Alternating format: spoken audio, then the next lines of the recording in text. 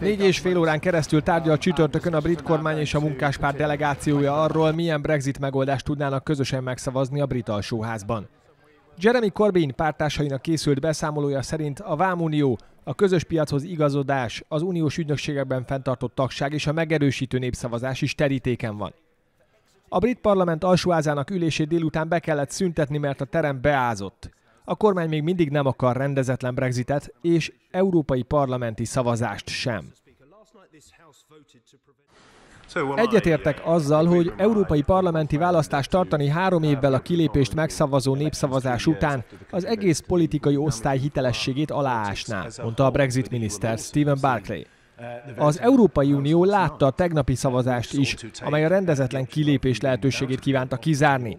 Ahogy az se kerüli el az EU figyelmét, hogy a tisztelt ház egyetlen szavazásra feltett megoldási javaslatot sem támogatott. Az ír miniszterelnökkel találkozott a német kancellár. Angela Merkel reményét fejezte ki, hogy Tereza May meg tud egyezni a munkáspárttal.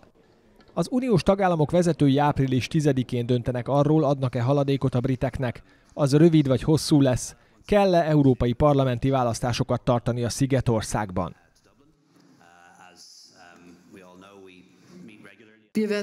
A 27-ek ebben a kérdésben egységesek.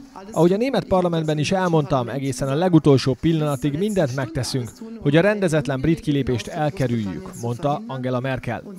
Ezért óriási erőfeszítésekre vagyunk képesek, de sikert csak akkor érhetünk el, ha a britek is segítenek. A beázás miatt bezárt brit alsóházat hétfőre tudják kinyitni. Bármiben is marad vagy nem marad a kormány és a munkáspárt, hétfőn szavazni kell arról, hogy milyen megoldást tud elfogadni a brit törvényhozás. A Standard Poor's hitelminősítő csütörtöki becslése szerint a brit gazdaság a népszavazás óta negyed évente 6,5 milliárd fontot bukott a Brexiten.